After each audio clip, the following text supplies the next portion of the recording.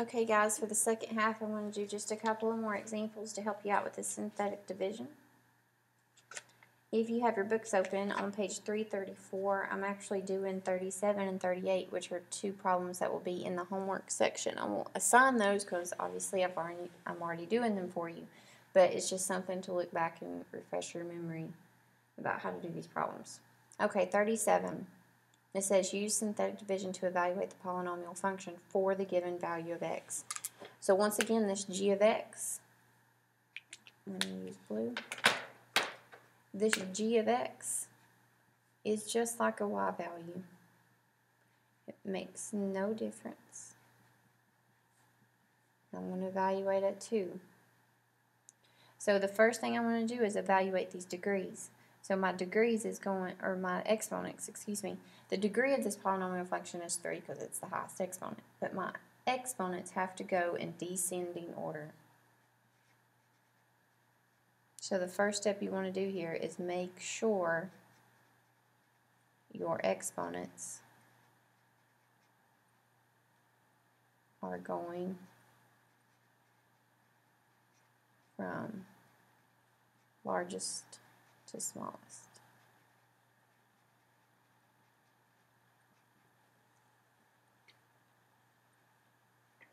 Give you a couple of seconds to write that down.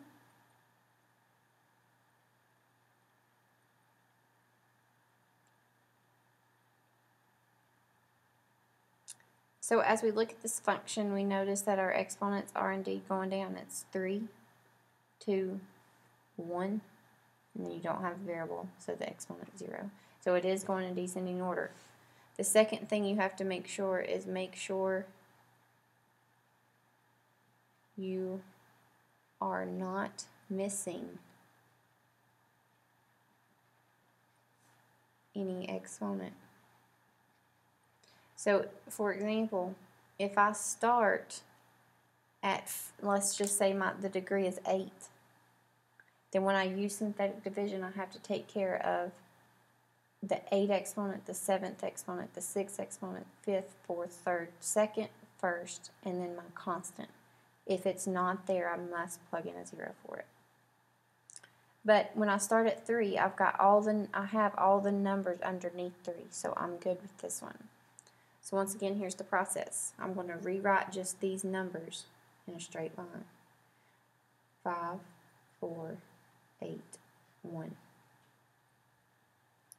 In the backwards L, I'm going to put the value that I'm evaluating at. So I'm going to put a 2.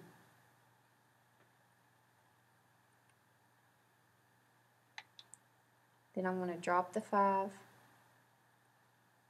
multiply the number in the backwards L to that 5 to get 10, and put it under the 4, under the next column. Then 4 plus 10 would be 14 times 2, I would put 28 in this column. 28 plus 8, that would be a 36.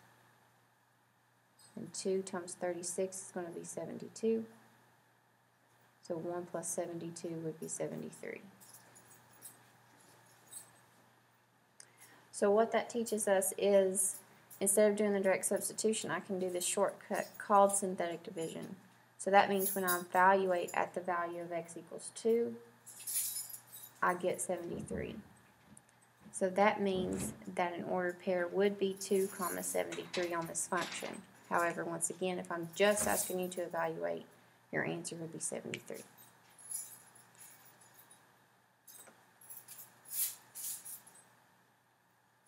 Okay, now for the next problem, I'm going to do 38 on page 334.